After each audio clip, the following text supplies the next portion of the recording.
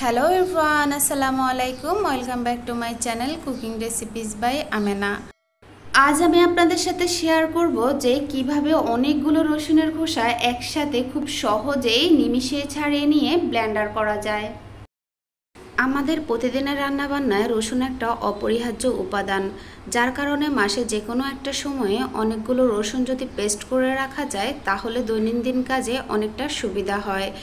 তো এতগুলো রসুন একসাথে পেস্ট করতে গেলে এর খোসা ছাড়ানোটাও একটা ঝামেলার কাজ হয়। তো আজকে আমি আপনাদেরকে দেখাবো কীভাবে ঝামেলার কাজটা একদম নিমিষে খুব সহজেই করে ফেলা যায়। আমি এখানে তিনটা পদ্ধতি দেখাবো যার জন্য লাগবে যে কোনো ধরনের একটা ব্যাগ, পানি এবং ঢাকনা সহ একটি পাত্র বা বাটি। আশা করি এই তিনটে টিপস ফলো করলে আপনার জীবনে রসুনের খোসা ছাড়ানো নিয়ে অন্তত আর কখনো কোনো ঝামেলা ফেস করতে হবে না। প্রথমে একটা রসুন নিয়ে রসুনের কোষগুলোকে আলাদা করে দেখাচ্ছি। দেখতেই পাচ্ছেন, এখানে একটা রসুন নিয়েছি এবং রসুনটার প্রতিটা কোষ আলাদা করে নিচ্ছি। আপনারা ঠিক যতগুলো রসুন ব্ল্যান্ডার করবেন, সবগুলো রসুনের কোষ এভাবে ছাড়িয়ে নেবেন।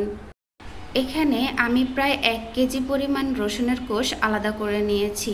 এখন একটি বাটিতে পরিমাণ মতো পানি দিয়ে এতে কিছু রসুনের কোষ দিয়ে দিলাম। আপনি চাইলে রসুনের পরিমাণ অনুযায়ী পানির পরিমাণ বাড়িয়ে বা কমিয়ে দিতে পারেন। তো এখন হয়তো অনেকেই প্রশ্ন করবেন যে এটাকে ঠিক কতক্ষণ পর্যন্ত ভিজিয়ে রাখতে হবে? সেই ক্ষেত্রে বলব রসুনের জাত অনুযায়ী সময়ের পরিমাণ অনেকটা বেশি বা কমও লাগতে পারে। সেই ক্ষেত্রে শুধু খেয়াল করবেন রসুনের উপরে যে খোসাটা আছে সেটা নরম হয়ে গিয়েছে কিনা। যখনই নরম হয়ে যাবে, তখন হাত দিয়ে কচলালেই খুব সুন্দরভাবে রসুন থেকে খোসাগুলো আলাদা হয়ে যাবে। তো ভিয়ার্স দেখতে পাচ্ছেন কতটা সহজে, খুব সহজেই এই খোসাগুলো আলাদা হয়ে গিয়েছে। এখন আরেকটি পদ্ধতি দেখাচ্ছি। এখানে একটি পাত্রে কিছুটা রসুনের কোষ দিয়ে দিলাম। তারপর ঢাকনা দিয়ে জাম ভর্তার মতো করে খুব ভালোভাবে দুই থেকে তিন মিনিট ঝাঁকিয়ে নিব। এই পদ্ধতি ফলো করতে হলে অবশ্যই আপনাকে স্টিল অথবা সিলভারের পাত্রই ব্যবহার করতে হবে। তো দেখতেই পাচ্ছেন রসুনের কোষগুলো থেকে কতটা সুন্দরভাবে খোসাটা আলাদা হয়ে গিয়েছে। লাস্ট যে টিপসটা শেয়ার করছি, সেটা আমার সবচেয়ে বেশি পছন্দের। তো এর জন্য যে কোনো ধরনের একটি ব্যাগ লাগবে। সেটা শপিং ব্যাগ অথবা বাজারের ব্যাগও হতে পারে।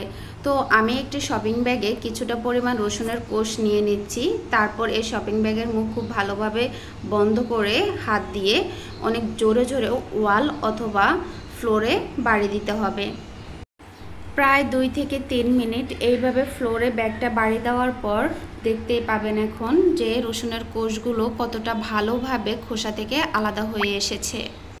এখন এই রসুনের কোষগুলো ব্ল্যান্ডারে পেস্ট করে দেখাবো, যার জন্য একটি ব্ল্যান্ডারে পরিমাণ মতো রসুনের কোষ এবং পানি দিয়ে এর ঢাকনা বন্ধ করে দিচ্ছি। তারপর সুইচ দিয়ে এটাকে দুই থেকে তিনবার সুইচ বন্ধ করে অন করে করে পেস্ট করে নেব।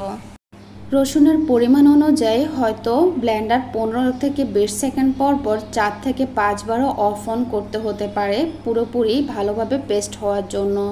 তো দেখতেই পাচ্ছেন রসুন পেস্ট হয়ে গিয়েছে এবং রসুনের পেস্টটা কতটা সুন্দর হয়েছে। একদম কোনো ধরনের কোনো প্রকার দানা বা কোনো কিছুই নেই। একেবারে স্মুথভাবে রসুনগুলো পেস্ট হয়ে গিয়েছে। তো এই ছিল আজকের ভিডিও যদি ভিডিওটি ভালো লেগে থাকে, তাহলে অবশ্যই চ্যানেলটি সাবস্ক্রাইব করে লাইক এবং কমেন্ট করে পাশে থাকবেন।